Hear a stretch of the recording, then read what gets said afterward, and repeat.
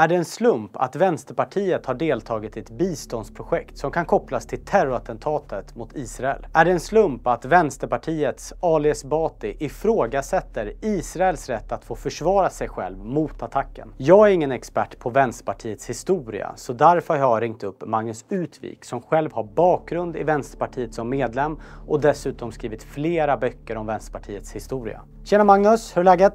Jo tack, väldigt bra. Ja. Tänkte ställa några frågor till dig. Eh, Björn Alling som är eh, vänsterpartimedlem och engagerad. Han krävde Norsis avgång efter att Norsi hade fördömt Hamas attacker på civila israeler. Vad beror det på? Ja, han, eh, han tillhör väl en, den delen av partiets medlemmar som, är, som man kan kalla aktivister. Precis som många medlemmar i Ung Vänster är aktivister och i, i den hållningen att vara aktivist så handlar det först och främst om just i den här frågan med Israel och Palestina att hela tiden betona att Israel som stat måste avskaffas. Man ska ha ett demokratiskt Palestina som man säger, vilket innebär då att man är en utplåning av staten Israel. Och att partiledaren, som Björn Alling säger då, är, är ehm, feg Eh, och eh, därför att hon, hon kanske har rätt i att man måste liksom ta avstånd från Hamas, eh, säger Björn Alling, eller jag tror att han kan tänka så. Därför att de attackerar liksom oskyldiga. Men att, man, att hon gjorde fel för att hon inte först och främst tog upp Israels ockupation av, eh, av Palestina. Israel som då han anser vara en apartheidstat, en rent rasistisk stat. Vilket är i linje med vad väldigt många aktivister inom Vänsterpartiet och Ung Vänster tycker vilket också Palestinagrupperna tycker. Och det är därifrån många aktivister hämtar sina vad ska man säga, åsikter och sina så kallade fakta. Så det här är inte en enskild röst utan den här uppfattningen är ganska brett spridd i Vänsterpartiet och Ung Vänster? Ja, det skulle jag vilja säga. Det finns ju också en, eh, ett upprop till stöd för Björn Alling inom Vänsterpartiet som eh, det är väl nog uppe i ett hundratal namn vid det här laget där man stöder eh, Björn Alling och inte vill se honom utesluten i partiet. Och den eh, före detta riksdagsledamoten Rosanna Dinamarca har ju ställt upp för Björn Alling och menar att jag står med dig. Och hon har ju ett ganska stort stöd bland aktivisterna inom partiet. Det här är ju inte första gången som Vänsterpartiet landar fel. Man sörjde ju till exempel när Stalin dog också. Varför, varför gjorde man det? Ja, i Vänsterpartiets ideologiska grund ligger ju i eh, bolsjevikernas maktövertagande 1917 i, i Ryssland.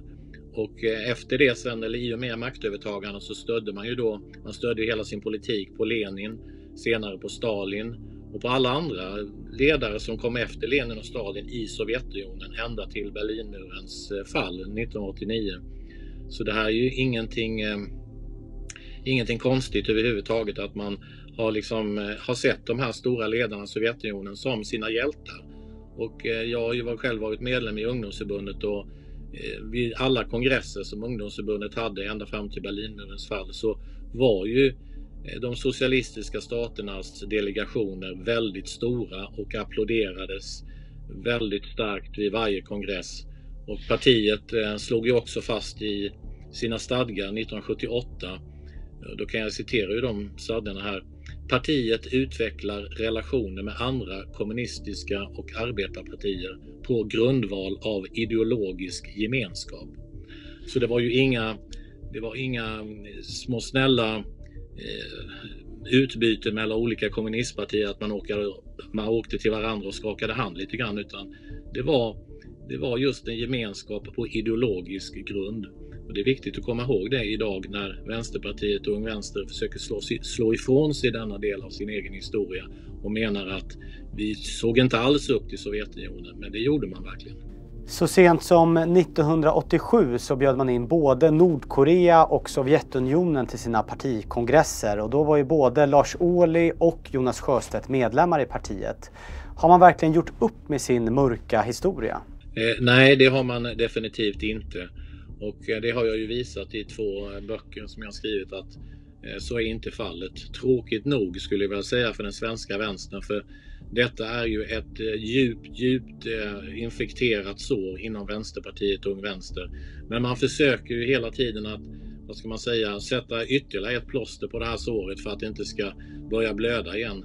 Men där, det man inte har gjort det är ju att ta itu med att partiets eh, ska säga, väldigt märkliga syn, om man nu ska vara diplomatisk, märkliga syn på demokrati som man hade fram till Berlinmurens fall. Alltså i partiets studiematerial som heter Marxistisk teori för politisk handling som gällde fram till eh, Berlinmurens fall så skriver man ju där att eh, ett, ett, citat, ett enda parti under socialismen kan fungera bättre än ett flerpartisystem. Det vill säga Vänsterpartiet ansåg fram till Berlinmurens fall att i vissa fall så kunde ett, en enpartidiktatur vara bättre än ett flerpartisystem. Eh, hårresande måste jag säga. Och det har man ju aldrig gjort upp med och eh, jag tror inte att man vill diskutera sådana saker överhuvudtaget för att risken är ju att medlemmar helt enkelt skulle säga packa sina väskor och bara säga att nej, jag kan inte vara i det här partiet längre. Mm. En sista fråga då. Hur, hur starkt stöd eh, finns de här, eh, de här antidemokratiska tendenserna i Vänsterpartiet? Finns, finns det något kvar av det i nuvarande Ung Vänster eller Vänsterpartiet? Ja, man kan ju se att eh, man kan se till exempel att eh, i Vänsterpartiets studiehandledning som heter Socialistskolan, eh, den senaste gav ut 2020, där hävdas det till exempel att i de socialistiska totalitära diktaturerna fanns det omfattande sociala rättigheter som rätten till arbete, bostad, mat, som man då menar normalt, in, normalt saknades i kapitalistiska samhällen.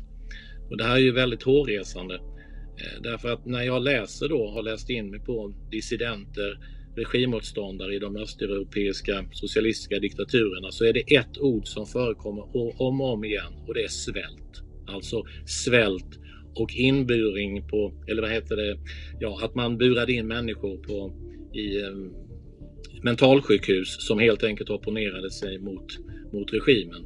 Så att tala om dessa samhällen som starka sociala och trygga samhällen för medborgarna där de inte fick demonstrera, inte bilda fackföreningar, inte hade något annat parti att rösta på än kommunistpartiet och riskerade tortyr och inlåsning på mentalsjukhus. Ja, det är ju också horribelt. Så de här odemokratiska tankegångarna finns ju kvar och högt upp i partiledningen. Eh, det finns ju människor i partiledningen som idag försvarar att Vänsterpartiets avdelning i Umeå demonstrerar tillsammans med kommunistiska partiet på första maj i Umeå och kommunistiska partiet eh, stödjer eller hyllar, eller hyllar Lenin och Stalin. Man har broderliga förbindelser med Nordkorea eh, och man stödjer diktaturen på Kuba. Och dessa krafter vill alltså Vänsterpartiet demonstrera med. Så nej, svaret är nej. De har inte rensat ut och de här odemokratiska tendenserna i partiet finns långt upp i partitoppen. Så här fungerar det inte i normala partier. I Moderaterna, Centerpartiet och Miljöpartiet så fördömer man diktaturer och massmördare, inte hyllar dem. Men Vänsterpartiet är inte ett normalt parti. Gång på gång, år efter år, så står man på fel sida av historien. Och nu landar man återigen fel när man inte stöttar Mellanösterns enda demokrati i kampen mot den ondskefulla terrorsekten Hamas och vill förvägra judar rätten till sin egen stat. Istället sprider man falska narrativ om att Israel bombar sjukhus och ifrågasätter Israels rätt att få försvara sig mot terroristerna samtidigt som man skickar biståndspengar till terroristerna. Även om K är borta från VPK så har Vänsterpartiet inte gjort sig av med förmågan att alltid landa fel.